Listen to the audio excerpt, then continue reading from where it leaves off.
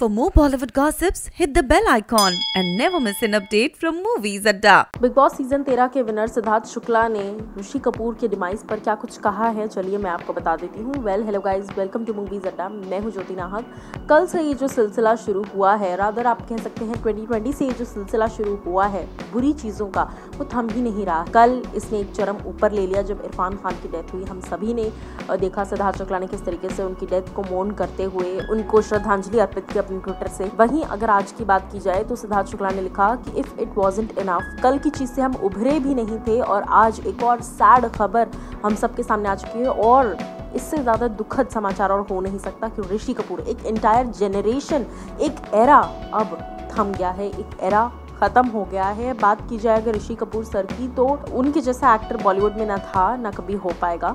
और इसी चीज़ को खुद सिद्धार्थ शुक्ला ने भी माना है। सिद्धार्थ शुक्ला ने कहा कि आपकी फ़िल्में देखकर हम बड़े हुए हैं, आपकी फ़िल्मों से हमने कितना कुछ सीखा है, आपसे हमने कितना कुछ सीखा है। और ये सारी चीज़ें बात की जाए तो सिद्धार्थ शुक्ला ने अपने ट्विटर पर लिखी, साथ ही साथ ऋषि कपूर सर के लिए लिखा may your soul rest in peace तो सिद्धार्थ शुक्ला ने तो अपना शोक ज़ाहिर कर दिया है। आप क्या कुछ कहना चाहेंगे, या आप बताइए कॉमेंट सेक्शन में। This is Jyoti Haq signing off